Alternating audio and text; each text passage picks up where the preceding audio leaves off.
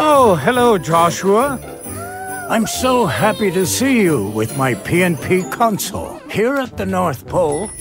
Just like you and your sister, every child in the world has a special book. The Inventioneer elves are putting the finishing touches on the new Santa Report scroll. With this new tool, I'll be able to look through your big book very easily. It's working! It's amazing, isn't it? Trivia, go get the book, please. And place it on the magic table.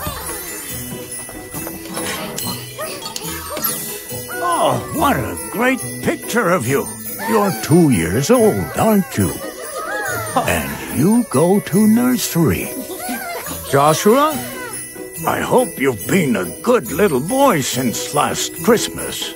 I sure do hope to see your name on my nice list this year, because we've prepared some very special presents for you. see you soon, and Merry Christmas! Ho, ho, ho!